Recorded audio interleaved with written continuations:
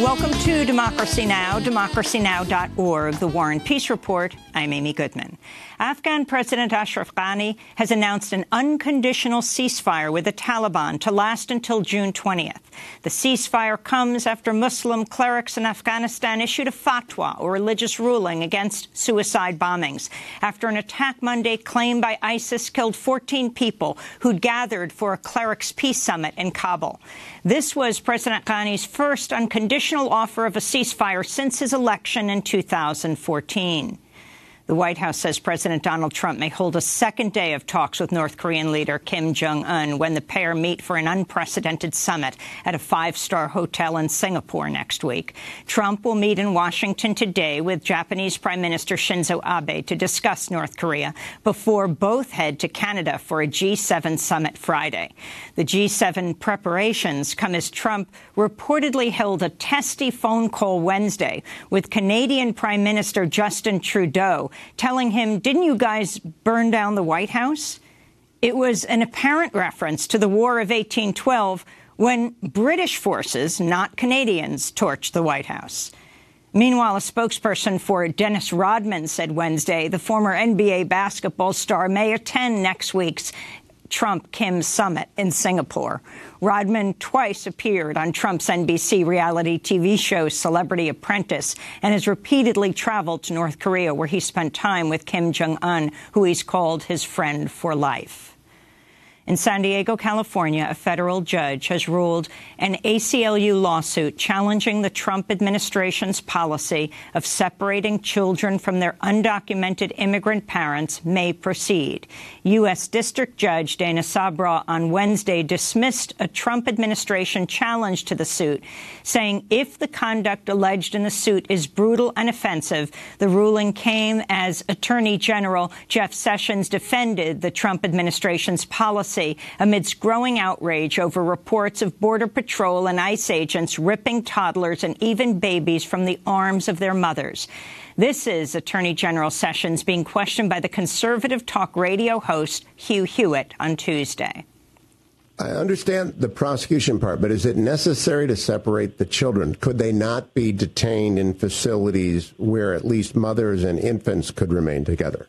Well, most are not infants. Most are teenagers. Although we do have a, a, a number of our younger ones now, more than we've seen recently, and they are maintained in a very safe environment, not by the law enforcement uh, team at Department of uh, uh, Health, um, Homeland Security, but put with Health and Human Services. According to the Florence Immigrant and Refugee Rights Project, infants as young as 53 weeks old have been brought to court hearings alone after they were forcibly separated from their parents by U.S. authorities. Meanwhile, in Mexico City, parents who've been separated from their children in the United States gathered Wednesday for a forum aimed at family reunifications. This is Ana Laura Lopez, who's unable to be with her children in the U.S. Deportations and deportees are more than just statistics and topics for current affairs. We are human beings who went to the U.S. to work. We fought to have a better life, and we are currently separated from our families. What we want the most is for us to be with our children, for there to be a bit more sensitivity and humanity from authorities as well as the broader society. White House Budget Director Mick Mulvaney fired the entire advisory board of the Consumer Financial Protection Bureau Wednesday in the latest move by the Trump administration to render the agency toothless. This comes after Mulvaney, who serves as acting director of the Consumer Watchdog, requested zero dollars in funding for the CFPB earlier this year. As a Republican congressmember from South Carolina, Mulvaney repeatedly voted in favor of bills that would have eliminated the Bureau. A federal judge has ruled Environmental Protection Agency head Scott Pruitt must produce evidence to back his claims that humans are not the primary cause of climate change.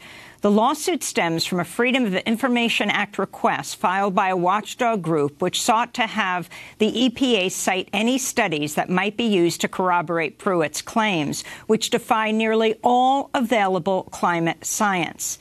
The FOIA request came after Pruitt made this remark on CNBC in March of last year, not long after his confirmation as EPA administrator. No, I think that, that measuring with precision uh, human activity on the climate is something very challenging to do, and there's tre- tremendous disagreement about the, the degree of impact. Uh, so, so no, I would not agree uh, that it's a primary contributor uh, to the to the global warming that we see. Meanwhile, two top EPA officials have resigned over a mounting series of scandals involving Scott Pruitt, who face more than uh, he faces more than a dozen ethics investigations.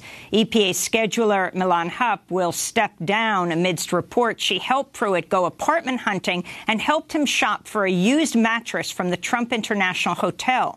Also resigning is Pruitt's senior counsel, Sarah Greenwalt, who traveled internationally and across the United States with Pruitt as he met with industry officials and foreign diplomats.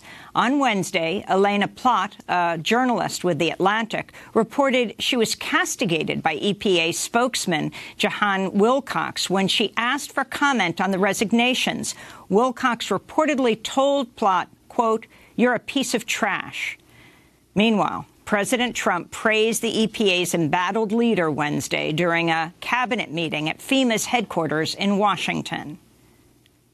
Administrator Scott Pruitt, thank you, Scott, very much. EPA is doing really, really well. And, you know, somebody has to say that about you a little bit. You know that, Scott. President Trump made that remark after he toured FEMA headquarters alongside his wife, Melania. It was the first public appearance by the pair in nearly a month after the First Lady vanished from public view following what they said was kidney surgery, prompting speculation about her well-being and whereabouts. During Trump's tour of FEMA, the president did not mention a new study that found Hurricane Maria killed more than 4,600 people in Puerto Rico, 70 times the official toll.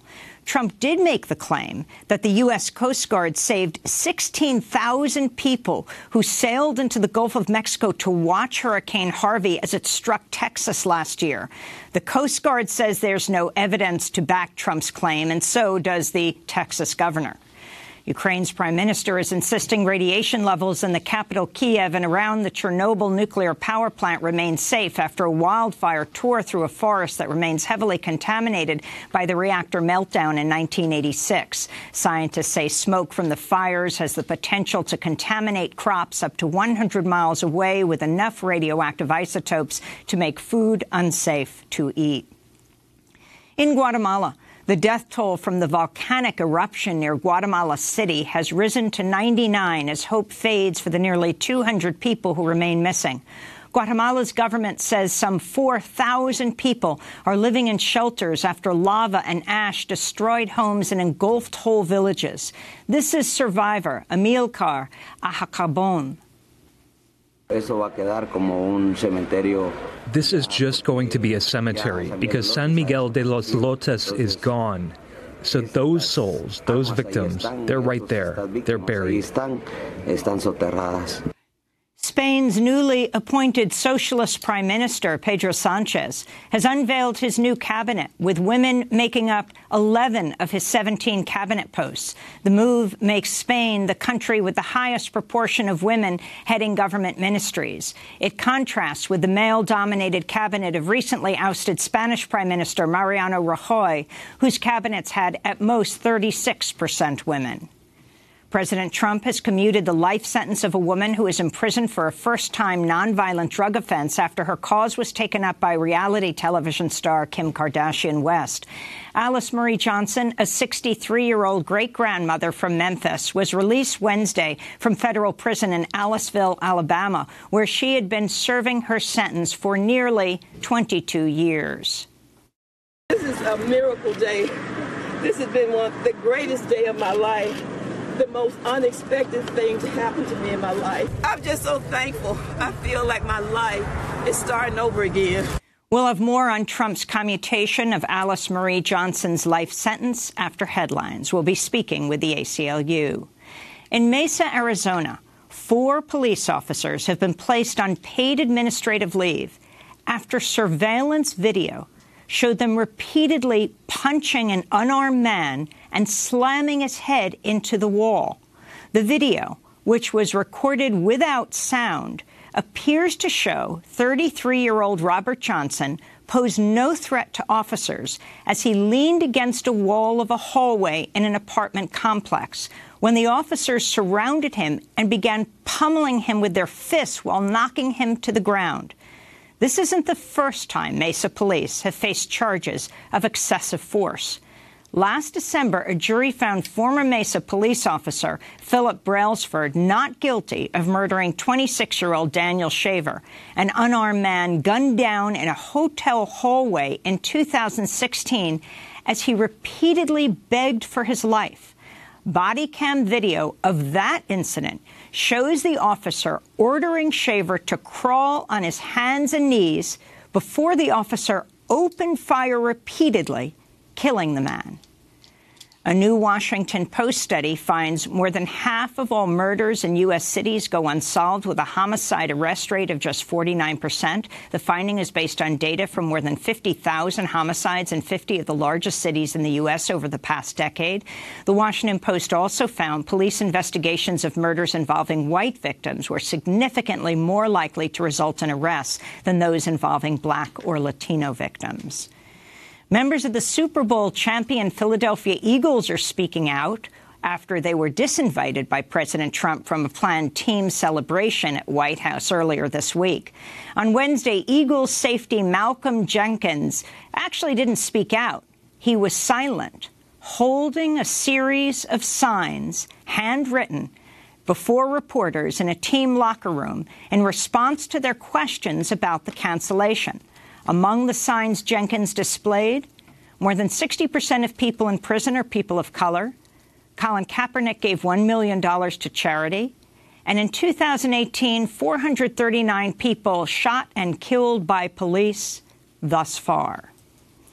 A new study by the environmental group Greenpeace found plastic waste and toxic chemicals in remote parts of Antarctica, adding to evidence that pollution from human activity is impacting every corner of the planet. Greenpeace activist and biologist Grant Oakes said a major culprit is single-use plastic. Single-use plastic is, you know, they believe now is accounting for up to 70, 80% of the plastic that's entering the oceans. And it's for a few moments of convenience, it has, you know, sometimes up to hundreds of years of lifetime in the, in the ocean. This month, the European Commission unveiled draft rules that would ban an array of single-use plastic items, including plastic plates, cutlery, and straws and Ira Berlin, the extraordinary historian who chronicled the history of U.S. slavery, has died at the age of 77. Berlin studied millions of documents in his lifetime to tell the stories of African Americans fighting for emancipation. His books include Generations of Captivity, Slaves Without Masters, and Many Thousands Gone, the first two centuries of slavery in North America. He once said of his work, one does not get over history, one just has to come to terms with it. And those are some of the headlines. This is Democracy Now!, democracynow.org, The War and Peace Report. I'm Amy Goodman. And I'm Nermeen Sheikh. Welcome to our listeners and viewers around the country and around the world.